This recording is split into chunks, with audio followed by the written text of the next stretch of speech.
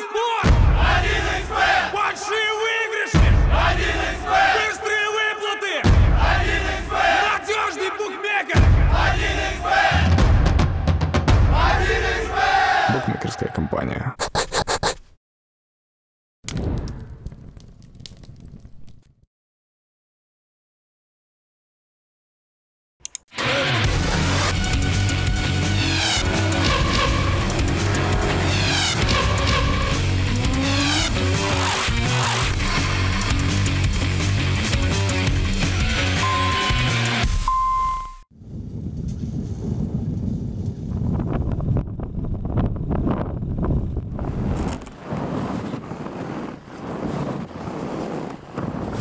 Часов не спим. Идем на лопату. Деваться некуда, нужно ехать.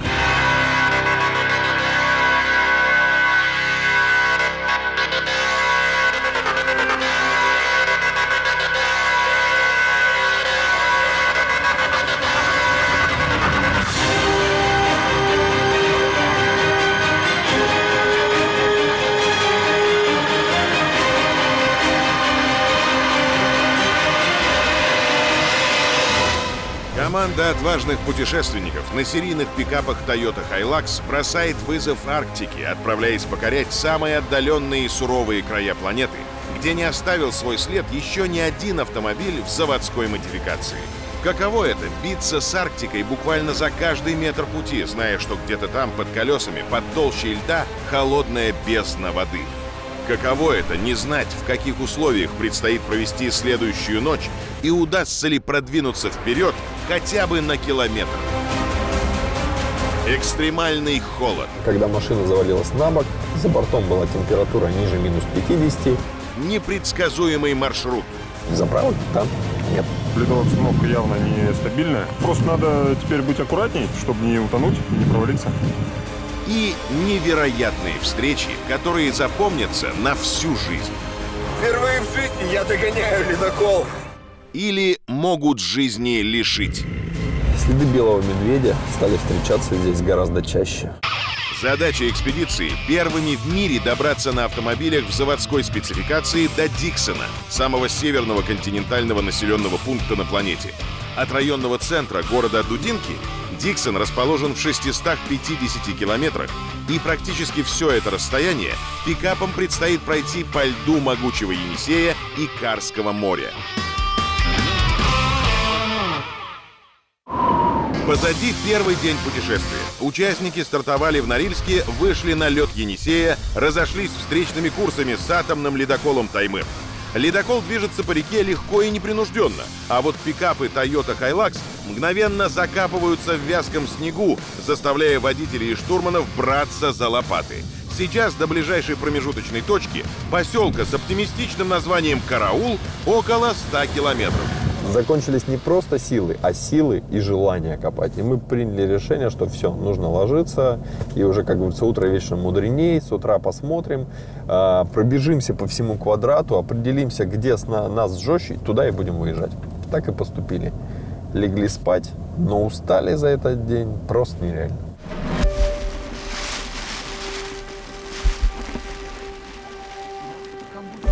Ночевать на льду при минус 54 градусах не доводилось никому из участников экспедиции. Впрочем, взятые с собой спальники рассчитаны на температуру до минус 70. И в машинах остаются только три путешественника. Остальные проведут ночь в палатке. Вот лежишь, у тебя вот э, лицо торчит немного, и ты прям чувствуешь, вот как вот а, жидкий азот как будто к тебе затекает туда в мешок. Начинает замерзать лицо, начинает замерзать нос. Ты начинаешь затягивать мешок, э, чтобы не мерзло все это. Ты начинаешь задыхаться, потому что откуда кислород возьмется.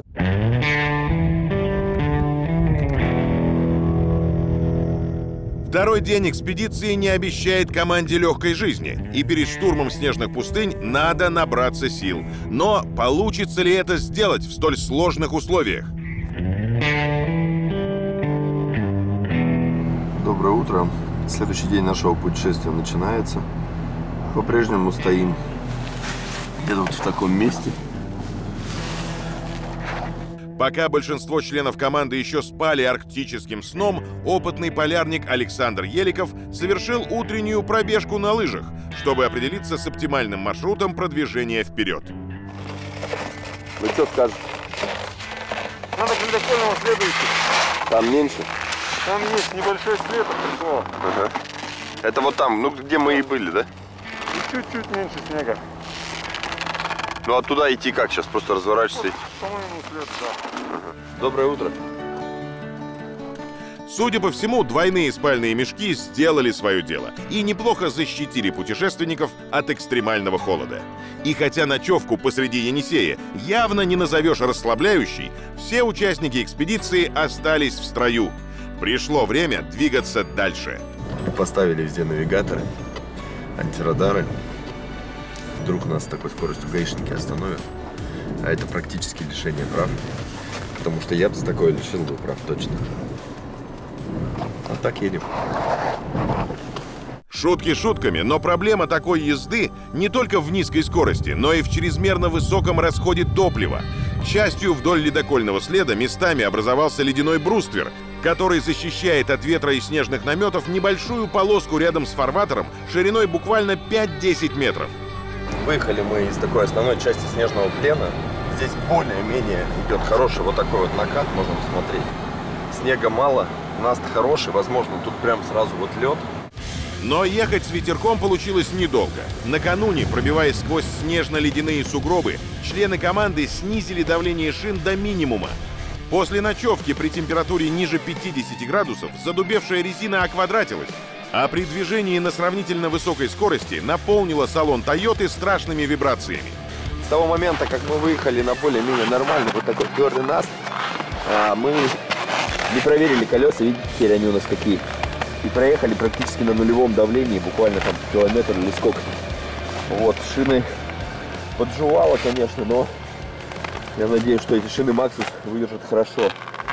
И банальной подкачкой шин здесь, кажется, не обойдется. На одном из колес между ободом и оквадраченной шиной набилось столько снега, что покрышка попросту разбортировалась и начала пропускать воздух. Из четырех три колеса мы подкачали. Вот. А одно колесо все-таки немножко разбортировалось. Но я надеюсь, что оно разбортировалось, не доживало. Вот. И, и не качается. Совершили ошибку, придется всей командой немного поработать инструментами на лютом арктическом морозе. Зато будет чем похвастаться перед профессиональными шиномонтажниками на большой земле.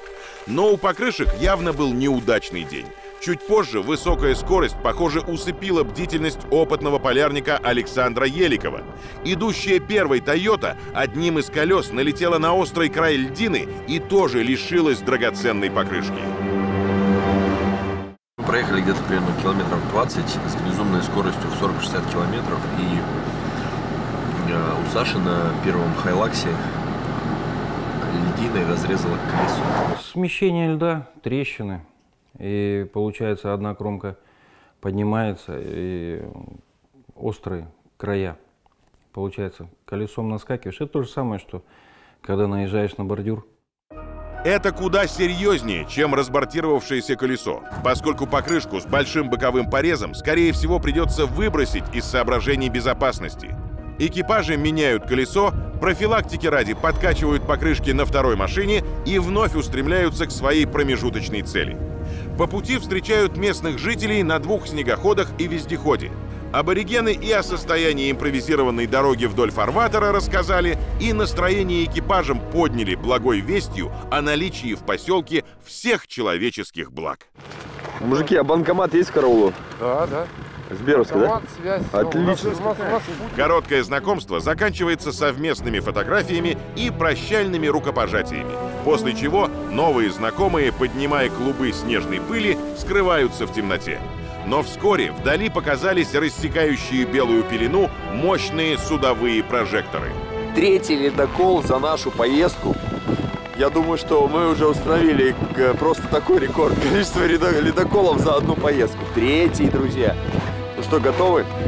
Называется Талнах, Мурманск. Давайте смотреть.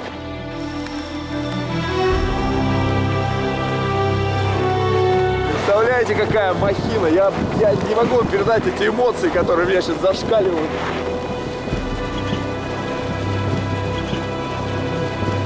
Махина вообще просто круто. Это круто. Кстати, вот на подобном, на подобном э, ледоколе и пришли сюда наши хайлаксы смотрите. На позитивных эмоциях от этой встречи команде было чуть проще сделать финальный рывок к селу Караул – где предстояло восполнить свои силы перед новыми, еще более сложными этапами большого арктического путешествия. Приехали до населенного пункта, который называется Караул. Надеюсь, что мы здесь так кричать не будем.